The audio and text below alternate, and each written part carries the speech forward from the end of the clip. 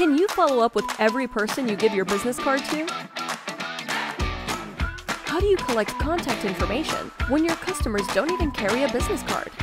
And did you know 88% of your business cards are thrown away?